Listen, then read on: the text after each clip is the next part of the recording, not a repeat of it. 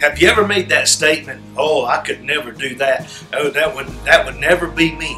Welcome to today's daily devotion. Let's talk about that for just a moment. In our scripture today, we're going to read uh, some scriptures very strong. But today's title is Don't Let It Be You. Don't let it be you. In the book of Mark, in chapter 14 and verse 18, and it says, I tell you the truth, one of you will betray me, one who is eating with me. Here it was that Jesus had the disciples sitting around the table with him, and, and we know this story. This is about Judas, and Judas uh, had already sold out in the Lord.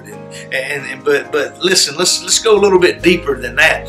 Let's go a little deeper than that because you know what? Judas was a disciple. You know, he was one of the Sunday school teachers. He was one of the church leaders. He was one of the deacons of the church. He was he was one of the ministers of the church. He was one of those that all of us Christians call ourselves to be. He he held an office in the church. He he was the chief. Uh, he was the he was the uh, collector of the money of the church. He, he was the treasurer, the chief treasurer at that of the church, and and he sold out. He was a born again Christian to God. I mean, he believed God. He believed that. He believed that, that he was his serving the right God. But you see, he allowed somebody to come and betray, uh, come yeah, he allowed somebody to come and betray him in his mind, and that was Satan, and saying, you know what, Judas, hey man, look at all this money. You know God doesn't need all this, and and so he sold him out, just sold him out right there before his face, and when he placed that kiss. But you know what? Don't let that be you because we can make that statement. We can serve God and serve God and serve God, but then we can also hear those words that says,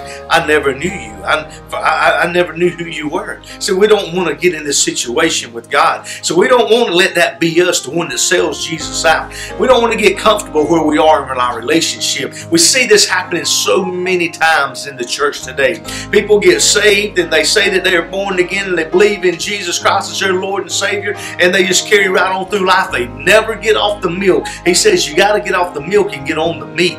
We got to grow in our relationship with God because if we don't grow in our relationship with God and get deeper, deeper, and deeper in love with Him and know more about Him, then the world will come and we will betray Jesus Christ. We will betray Him just like Judas. You see, man, you could be Judas me and you could be him just like uh, just as we could do the same thing to our savior as what judas did it's very easy but i'm telling you today don't let that be you don't let that be you. God bless you. I hope this is a word to encourage you. We'll see you again soon.